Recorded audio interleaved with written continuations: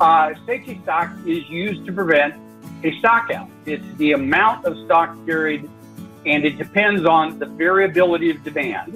Remember, we looked at that uh, uh, independent demand item. How often we order, what we call the desired service level and the length of the lead time, and our ability to forecast and control lead times. And this is usually the planner and the buyer's responsibility. The formula is safety stock equals desired service level time MAD adjusted for uh, lead time. I'll explain that in just a second. We carry safety stock in MRP systems at the very lowest levels of the bill of material and the very highest levels of material. When you tend to carry safety stock at the mid levels, at the subassembly levels, that can very much skew the planning process of MRP, which we'll look at uh, uh, in, on July 18th. The measures of uh, the variability of demand, if you look at uh, a simple bell curve, here are the occurrences of demand across a normal average. And you can see that if you use a standard deviation, the square root of the differences between the actual and the forecast squared divided by the number of periods, you get the standard deviation. Normally, we use the simpler method of the mean absolute deviation or the sum of the uh, demand uh, variations by the uh, number of periods, and we can therefore assign a probability of occurrence of an actual demand falling within this bell curve. So 98% of the time, we can say that demand is projected to be three mean absolute deviations away from the average. The service level, how much we want to allow the system to have stockouts, uh, increases with the service level. You see here we're going from 80 to 90.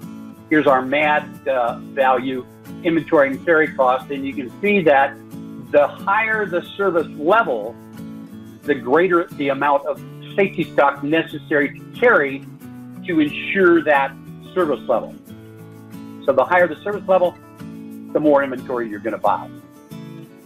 Uh, the safety factor, the basic safety stock calculation assumes that the replenishment lead time is equal to the forecast interval. So if you're forecasting on a monthly basis and your lead time is eight weeks, then you're going to want to adjust that mean absolute deviation by a factor that accounts for the variance between the forecast interval and the lead time interval. And this gives you a uh, table of what those uh, adjustment factors might mean or might be and uh, again, we don't have the time to get into the actual uh, calculations, but basically you're going to modify your mean absolute deviation by that forecast uh, period.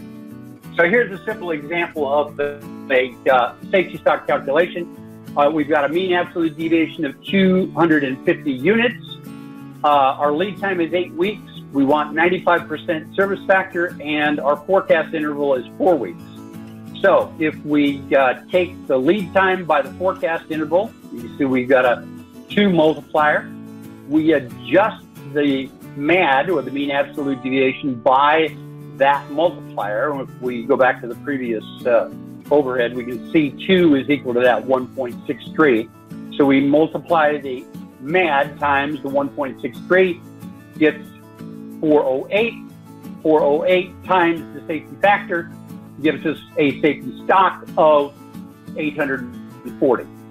Now, that's a statistical method of calculating safety stock as opposed to what we might call a heuristic or a seat of the pants or a thumbnail estimate of safety stock of two weeks of demand or however you calculate it. This is actually a statistical method for doing that. So if we summarize safety stock, we can see that safety stock is a permanent investment. So if the management wants 99% uh, service level, they're going to have to pay for that in inventory. The higher the service level, the more must be invested. And we've got to take into effect that lead time versus forecast interval variability. And the reorder frequency uh, often uh, calculates how often you're going to expose to that. And there's another calculation that you can use to uh, look at that frequency of order length. And at MRP, when we look at that on July 18th, we'll see that safety stock basically raises the projected quantity on hand to this value. So instead of a net zero availability, if you have a safety stock value, it takes it up to that safety stock as a zero availability.